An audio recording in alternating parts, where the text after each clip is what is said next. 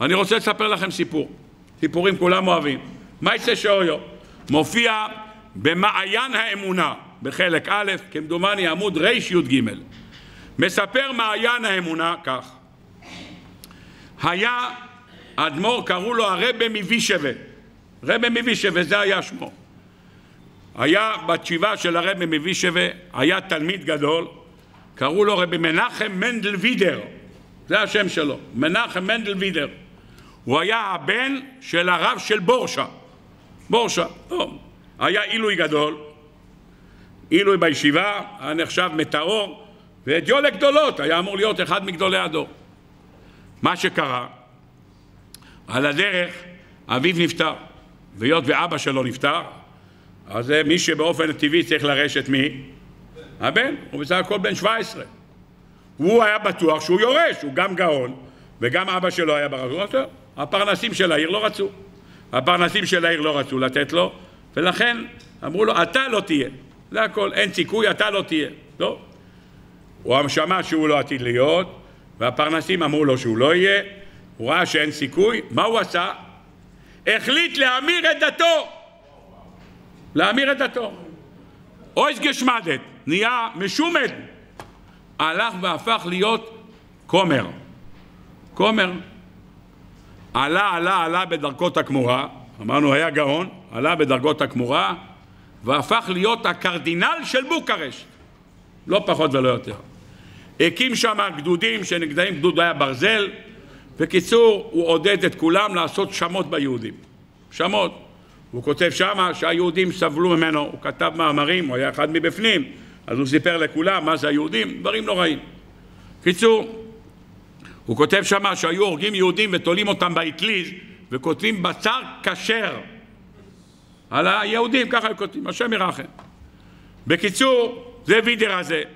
היה וידר, הוא לא שינה את השם שלו. מנחם מנדל וידר, זה השם שלו וידר. קרדינל וידר, יפה מאוד. יום אחד נפטר הרבה מווישבה, הוא הגיע אליו הקרדינל הזה, הוא אומר לו, תשמע, אם אתה לא מפסיק להיות קרדינל ועושה שמות ביהודים, אני אדאג לסלק אותך מהעולם הזה. אני אדאג לסלק אותך. תחזור בך! ופעם, פעמיים, שלוש זה חזר, הוא ארז את הדברים שלו, לקח את הצלב שהיה לו מלא יהלומים, ונכנס לאדמו"ר מסקולן. האדמו"ר מסקולן. טס, הוא כבר לא בא עם הבגדים של הזה, הוא כבר בא עם כובע. הוא נכנס ביחידות לרבה מסקולן, ומסקולן מסתכל עליו ואומר, שואל מה לחם רבה? אומר לו. אומר לו, מי אתה? הוא אומר לי, אני מנחם מנדל וידר. הרבה תפס לו את שני הידיים, חיזק אותה, אמר, הבן שלי, בני ברוך שובך, ככה אמר לו. מנתי רקין, תודה רבה הבן שלי שחזרת בחזרה. הוא אומר, אני מבין שאתה נמצא באיזה סערה. הוא אומר, תחזור בחזרה, תלמד פה, יכול להיות שיביישו אותך, אני אלך למשמרת. זה רב מנחם מנדל וידר, זה הסיפור שלו, הוא קבור בצפת. הוא קבור בצפת, הוא עלה ארצה, הוא קבור בצפת, כך כתוב שם בספר. למה אני מספר לכם את הסיפור הזה? אני רוצה לצאת איזשהו, איזשהו תיאור, בבקשה ללמוד מכאן דבר נפלא בעבודת השם. מה קורה כשאח נפטר? אח נפטר. שני אחים גדלו יחדיו, שני אחים גדלו יחדיו, הקימו בתים, היו מבית פשוט או לא פשוט, לא משנה, יהודים שומרי תורה ומצוות. אח אחד החליט להיות חסידי, חסידי. היו מבית פשוט, נהיה חסיד. לבש שטריימל, לבש זברה, כזה זה ז'פטה, וזה נהיה חסיד, יפה מאוד. השני אמר שלא טוב לו פה עם הרפורמה הזאת, הוא לא מסתדר. הוא החליט, הוא נוסע לרומא. רומא. נסע לרומא. נסע לרומא, שכח מהיהדות שלו, היה נשוי עם אישה, שניהם דתיים, פרקו רחמון ליצן כל עול, והיו ברומא. ברומא הסתובבו שם בבוהמה, ולאט לאט התקלקלו, הכירו כל מיני אנשי נצרות, והבחור הלך ללמוד כמורה. כמורה. נו, כעבור כמה שנים, התמנה לכומר. עלה יותר לגדולה, נהיה קרדינל. קרדינל זה הסגן של, של הפופ, הוא הסגן שלו, יפה מאוד. נהיה קרדינל. נו, מה קרה? לקרדינל הזה נהרג בתאונת דרכים, בלי ילדים. בלי ילדים. מה הדין של אשתו? היא צריכה עכשיו ייבום וחליצה, או ייבום או חליצה. למי קוראים לייבם אותה? לאח הזה ממאה שערים. הוא בא עם שטריימל, מקטוינס פסים, הוא מגיע לרומא, עיוור לבית הדין, אומר, בבקשה, אני רוצה לייבם את איש גברת... מייבם או לא? אה? כן, מייבם. בסדר. להקים שם לאחיו. יחזור הקרדינל וידר עוד פעם. כן? בסדר, לא, אני שואל, אתה עושה ככה אם זה נראה לך פשוט. אני לא יודע. אתם אומרים כן, אני זורם איתכם, הכל טוב. יפה מאוד. בואו נראה ההפך. רבותיי, ההפך. מה קורה? הקרדינל יש ילדים, אבל להוא ממאה שערים אין ילדים. והוא נפטר. הוא נפטר, מגיע הכומר, מגיע הכומר, הוא רוצה לייבם את אשת אה, מאה שערים. כן או לא? כן. לא יכול? מייבם. זאת אומרת, הכל אתה, מבחינתך כולם טוב. טוב. אני הרב, אני הולך איתך, אני אין לי בעיות. הכל בסדר. אבל השליפות האלה זה דבר שצריך ללמוד לפחות 50 שו"תים כדי לענות את זה. בסדר, אתה אומר? טוב. רבותיי, הלוכה בשולחון אורוך. יש שתי דעות בשולחן אורוך, הלוכה בשולחן אורוך. אם הקרדינל צריך לייבם את האי ממאה שערים, הוא לא מייבם. אבל להפך, כאשר ההוא ממאה שערים צריך לייבם את אשת הקרדינל, מייבמים. רבותיי, אני רוצה לשאול אתכם שאלה. להחזיר את המת בחזרה, איזה מת? הקרדינל הזה, להחזיר אותו בחזרה? מה אומרת התורה? ולא ימחה שמו בישראל, כך אומרת התורה. והיה הבכור אשר תלד יקום על שם אחיו המת ולא ימחה שמו בישראל. לא ימחה שמו בישראל של הקרדינל?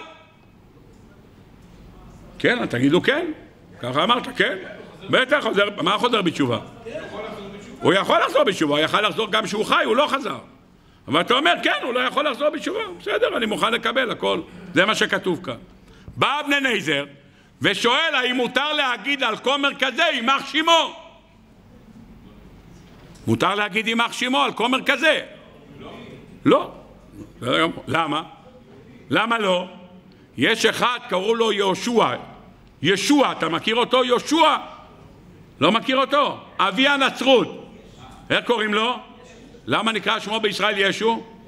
יימח שמו. אז אומרים יימח שמו, לא? נשאל לאבני נזר, האם מותר להגיד יימח שמו או לא? אמר, מה פתאום מותר? כתוב כאן בפסוק. והיה חור אשר תלד, יקום עד שם אחיו המת, ולא יימחה שמו בישראל. אז איך תגיד יימח שמו כשהתורה אומרת שלא יימחה שמו? אז אסור להגיד יימח שמו. אז איך אתה אומר על ישו יימח שמו? זה שיעור בפני עצמו. אבל זה מה שכתוב כאן. יוצא רבותיי, מה למדנו? למדנו שמחזירים בחזרה את מה? מחזירים את אותו קרדינל, מחזירים אותו בחזרה.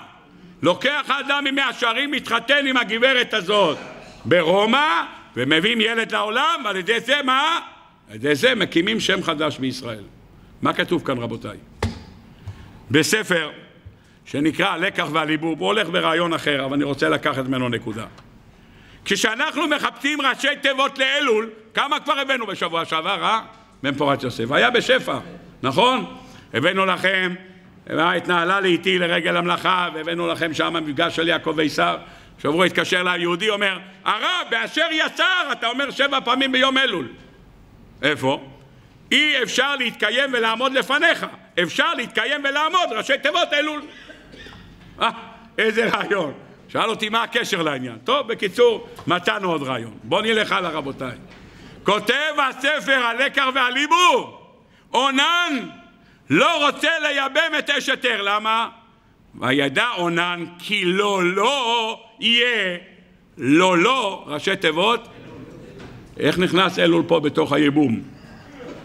זה יכול להגיד לי? איך נכנס כאן אלול בתוך הייבום?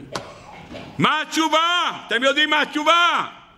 באה התורה ואומרת לבן אדם אל תישבר יכול להיות אחד שעבר עבירות ועבר ושנה ושילש וריבע נגיד אין לי סיכוי אין לי סיכוי מה הוא יקבל אותי ככה? כמה עבירות עשיתי בחיים כמה הבטחתי פעם ועוד פעם ועוד פעם ועוד פעם מה אומרת לו התורה? גם אם הוא היה קרדינל ברומא תביא אותו בחזרה. למה? כי אלול אפשר להתחיל הכל מחדש. מתחילים הכל מחדש, ייוולד ילד חדש, מהות חדשה, זה אלול. אלול זה בריאה חדשה, נבראים מחדש, זה הכוח שיש לאלול. אם ככה, בסייעתא דשמיא, אחרי שלמדנו את היסוד הזה, כמה הקדוש ברוך הוא שומר שלא יידח ממנו נידח, כמה הקדוש ברוך הוא שומר שחס וחלילה שום נשמה לא תלך לאיבוד.